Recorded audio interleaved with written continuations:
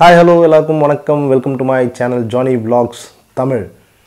So போன எபிசோடில் நம்ம அண்டார்டிகாவில் ப்ரோக்ரஸ் ரன்வேயில் வந்து லேண்ட் ஆனோம். ஸோ எல்லோரும் பார்த்து சந்தோஷமாக இருப்பீங்க.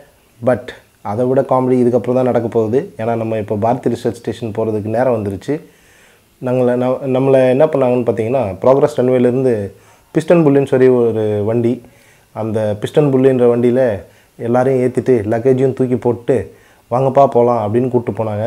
சரி நாங்களும் சந்தோஷமாக அப்பாடா எப்படியோ கடைசியாக வந்து சேர்ந்தாச்சு. ஏன்னா பத்து மணி நேரம் ஜேர்னி பத்து மணி நேரம் ஜேர்னியில் நம்மளது கிழி கிழின்னு கிழிஞ்சிருச்சு.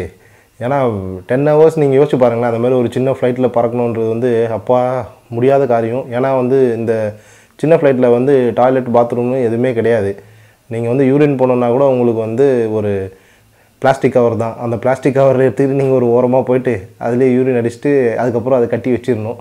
அப்படி இல்லை அப்படின்னா நீங்கள் வந்து சொந்தமாக வாட்டர் பாட்டில் ஏதாவது எடுத்துகிட்டு போக வேண்டியதுதான். அதில் யூரின் போயிட்டு அதுக்கப்புறம் உங்கள் பேர் அதில் எழுதி அப்படியே வச்சுக்க வேண்டியதுதான் பத்திரமா.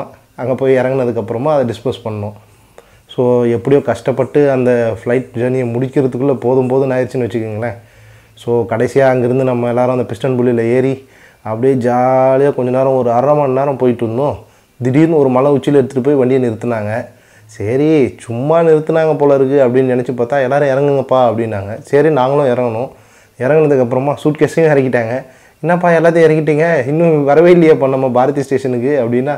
ஆமாங்க போகலாம் போகலாம் அப்படின்னு சொல்லிட்டு அந்த மலை உச்சியில் கூப்பிட்டு போய் நிற்க வச்சுட்டு அங்கேருந்து ஃபஸ்ட்டு பெட்டிகளெல்லாம் கீழே உருட்டி விட்டாங்க. மலையிலேருந்து அது பாட்டுக்கு பெட்டிக்கு என்ன தெரிய போகுது? பெட்டிக்கு என்ன வலிக்கவா போகுது? அப்படியே கீழே இறக்கி விட்டாங்க. அது பாட்டுக்கு சரிக்கிட்டு போயிடுச்சு கீழே வரைக்கும்.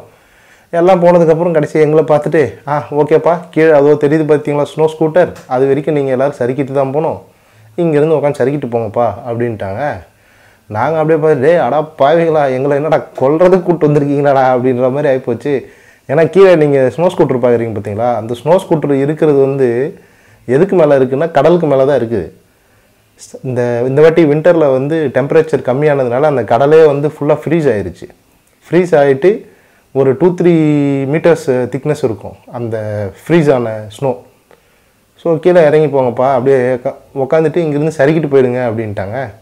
அடப்பாவீங்களா அப்படின்னு சொல்லி கடைசியாக எப்படியோ அதையும் சறுக்கிட்டு கீழே போகிறதுக்குள்ளேயே உயிரே போயிடுச்சுன்னு வச்சுங்களேன் கடைசியாக அதுக்கப்புறம் போய் அந்த ஸ்னோ ஸ்கூட்டரில் ஏறணும்.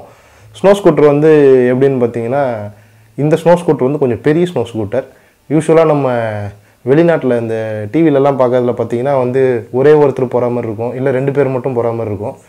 பட் அண்டார்டிகாவில் வந்து கொஞ்சம் எக்கனாமிக் ப்ராப்ளம் தான். வேறு எதுவும் இல்லை. அதனால் எது போட்டாலும் பெருசாகவே போட்டுடலாம் அப்படின்னு சொல்லிட்டு பெரிய ஸ்னோ ஸ்கூட்டராக வாங்கி போட்டாங்க இதில் வந்து குறைஞ்சது ஒரு அஞ்சாறு பேர் ட்ராவல் பண்ண முடியும். அஞ்சு பேர் உட்காந்துட்டு போகலாம். ஆறு பேர்லாம் போனோன்னா கண்டிப்பாக யாராவது நின்று தான் போகணும். ஸோ எனிவேஸ் அங்கேருந்து அப்படியே ஏறி அந்த ஸ்னோ ஸ்கூட்டரை பிடிச்சி கடைசியாக பாரதி ரிசர்ச் ஸ்டேஷன் போய் ரீச் ஆனோங்க. பாரதி ரிசர்ச் ஸ்டேஷன் ரீச் ஆனதுக்கப்புறம் தான் உயிரே வந்ததுன்னு வச்சிங்களேன் அன்றைக்கே ஈவினிங் பக்காவாக ஒரு வெல்கம் பார்ட்டி ஒன்று கொடுத்தாங்க. சூப்பராக என்ஜாய் பண்ணோம்.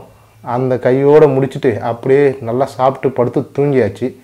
அதுக்கு அடுத்த நாள் ஃபர்ஸ்ட் டே வாங்கப்பா பாரதி ரிசர்ச் ஸ்டேஷனை நம்ம சுற்றி பார்க்கலாம் அப்படின்ட்டு கூப்பிட்டு போனாங்க.